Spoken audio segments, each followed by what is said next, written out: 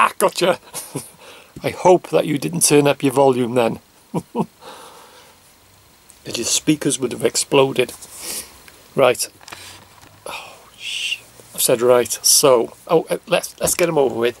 Um, right. So, anyway, obviously, basically, right. Okay. Right. Okay. Flat cap, cold on. Just thought I would have a moan about. Um, went to one or two places today. Called in Asda in Kinmel Bay, and it was unbelievable. Did a bit of shopping, not much. Got a big bag. What did I say? Like a big. Oh, I tell you what, if you like your biltong, bear with me a second.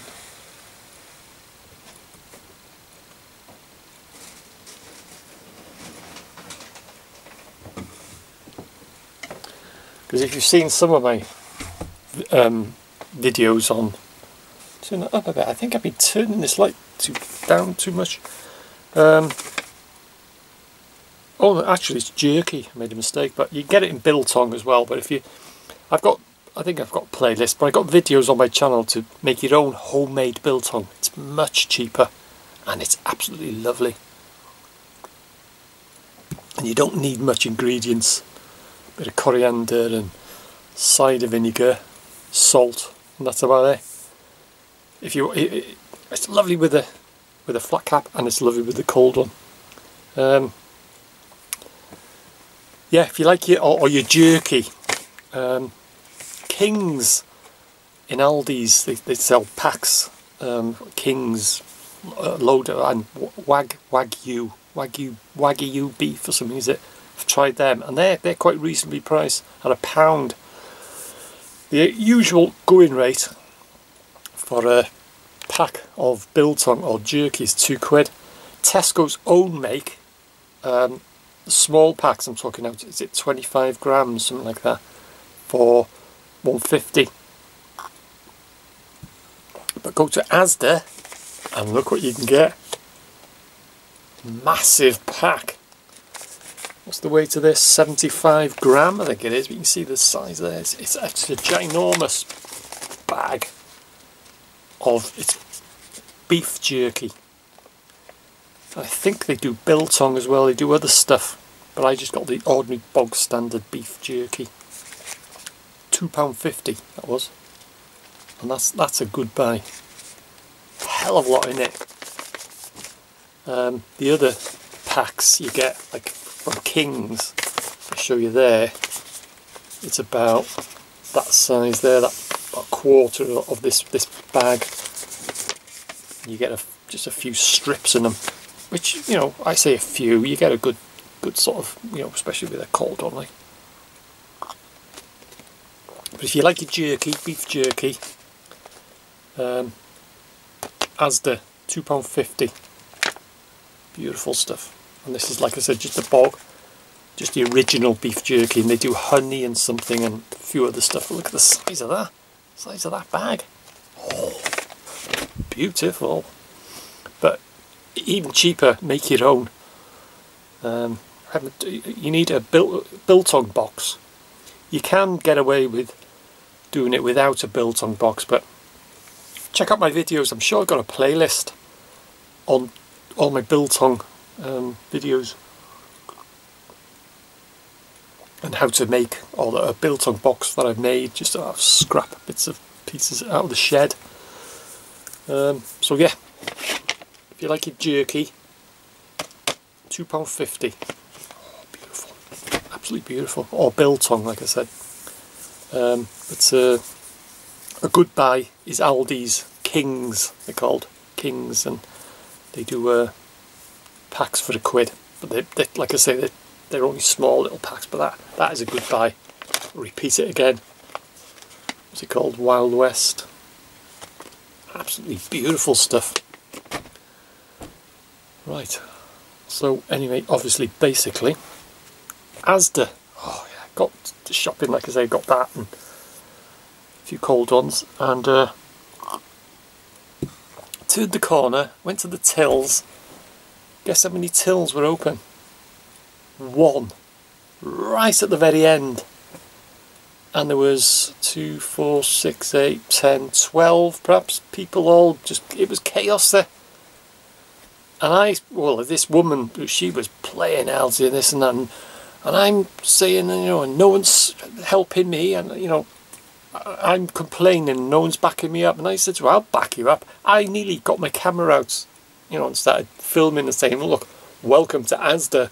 Look at this, do your shopping, come to pay, and one till open and all that. But they probably just chuck you out, um, you know, because you, you're not allowed to film in uh, supermarkets. Um, a lot of people say, oh, it's a public place. It's not, it's privately owned.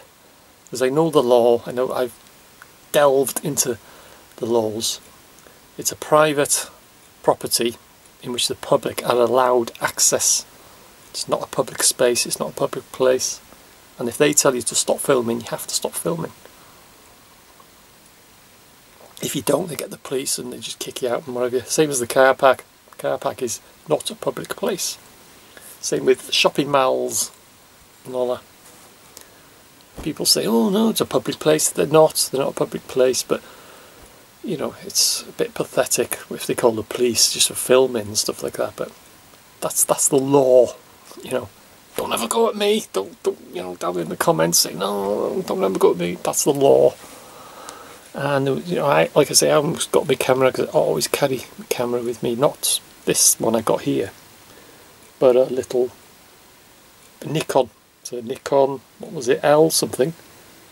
I haven't got it with me. It's downstairs always carry camera because you know you always doesn't matter you know you'll see something and the, the things that, that you know the old saying is the things you see and you haven't got your camera but it's always carrying the camera with me mm. one till and everyone was moaning and complaining then someone else came and they opened up a till and I managed to get on and I was putting one or two things on, and I was just saying, this is absolutely ridiculous. I saying, the thing is, like, people are not going to come back. You know, there's other places, supermarkets, bits ago I was talking with someone else, moaning and groaning, and then this woman on the till, they had, she had a phone, she phoned, went on the phone, and she was saying, oh, get the supervisor down here and all that. I was all ready to, to get the manager. Um, you know, just speak to the the organ grinder, not the monkey which is very unfair to say that really. You shouldn't, if there's ever a situation like that, you know, there's someone on the till, you can't blame the staff, you can't blame that person on the till. It's not their fault. It's higher up. It's the supervisors or the manager. That's their fault. That's what they get paid for to do. But people will take it out on that person on the till. Because when I was on the tills in um, Safeway. And then Morrison's. I to have the upper hand. Um, people, uh, people will believe you me. People take it out on you, on the tills. They'll go around the store.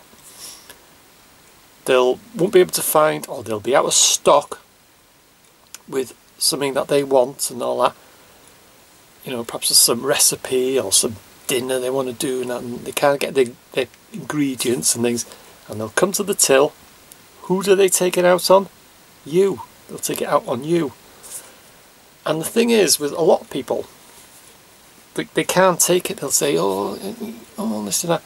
But what I used to do I used to agree with them.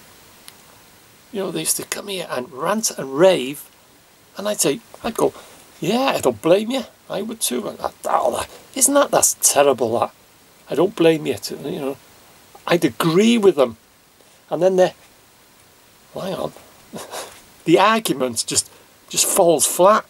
There's no argument, is there? They're thinking, hang on, he's agreeing with me. He's on my side. That's what I used to do. I used to say, I don't blame you. Yeah. But I've have got the uh, well, it goes in there and out there, and I've got the gift of the old gob. So yeah, but um, it was absolutely bloody ridiculous. And I haven't been to Asda. It was in Kinmel Bay. I did mention that, yeah.